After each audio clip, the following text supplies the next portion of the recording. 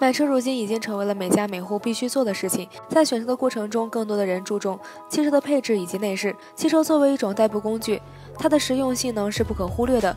自驾游可以说是一种很自由的旅行方式，因此为了满足消费者的需求，SUV 车型便应运而生。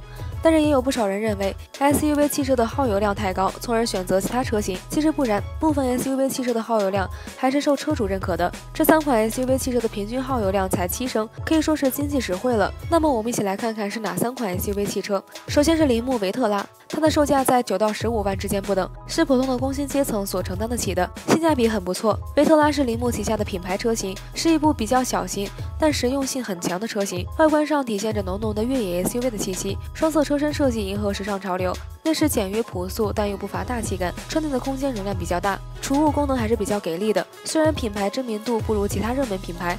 但整体实力还是很强大的。第二款便是本田 X2V，这款车的价格在十二到十六万左右，价格还是比较合理的。外观给人的感觉便是硬气时尚，个性十足。内饰的做工也比较精致，优化空间设计可以说是本田的主打。乘坐空间和储物空间的设计比较合理。动力方面采用的是一点五升的发动机，动力十足。同时它的油耗还是比较低的，综合油耗在七升左右，可以说是比较省油的 SUV 了。最后一款便是名爵 ZS，价格在七到十二万之间。